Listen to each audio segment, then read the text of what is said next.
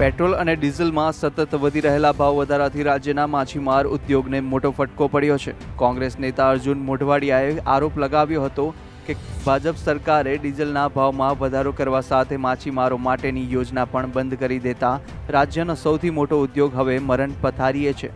કોંગ્રેસ નેતા અર્જુન મોઢવાડિયાએ પ્રહાર કરતા કહ્યું હતું કે એક નાની ફિશિંગ બોટ એક સિઝનમાં ઓછામાં ઓછું પાંત્રીસો લીટર પેટ્રોલ અથવા કેરોસીન અને મોટી બોટને છત્રીસ હજાર લીટર ડીઝલ જોઈએ છે. ગુજરાતમાં અત્યારે પચીસ હજારથી વધુ નાની મોટી ફિશિંગ બોટ કાર્યરત છે. એટલે ગુજરાતમાં એક માછીમાર સિઝનમાં ચોપ્પન કરોડ લીટર ડીઝલનો ઉપયોગ કરે છે. એટલે ગુજરાતના માછીમાર ભાઈઓ પર એક સિઝનમાં ડીઝલના ભાવ વધારા રૂપે રૂપિયા બે હજાર કરોડનો બોજો પડ્યો છે.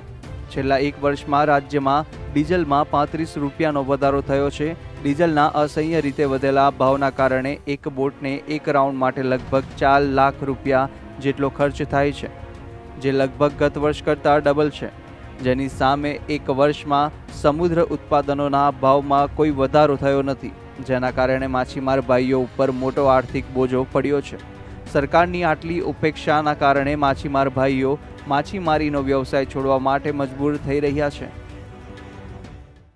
મારી રાજ્ય સરકારને ચેતવણી અને વિનંતી છે કે તાકીદે એ પેટ્રોલમાંથી જે માછીમાર ભાઈઓને પેટ્રોલ અપાય છે અને ડીઝલ અપાય છે, એ સેલટેક્સ જીએસટી અને જે એક્સાઇઝ મુક્ત અપાય, તો એને આ ધંધો પરવડી શકે એમ છે.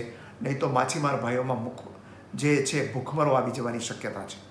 મારી હાથ જોડીની વિનંતી છે કે ગુજરાતનો લાંબામાં લાંબો દરિયા કિનારો છે, માછીમાર ભાઈઓ સક્ષમ છે તો એની ક્ષમતાનો ઉપયોગ કરીને વિદેશી હુંડિયામણ પણ મેળવી આપશે માછીમાર ભાઈઓ. અને અનેક લોકોને રોજગારી પણ આપશે એટલે ડીઝલ અને પેટ્રોલ સસ્તા કરે અને એના માટે જરૂરી સબસિડી આપે એવી મારી વિનંતી છે. અને ગુજરાતની યુટ્યુબ ચેનલને સબસ્ક્રાઇબ કરી ક્લિક કરો બેલ આઇકન અને મેળવો વિશ્વભરના ન્યૂઝ અપડેટ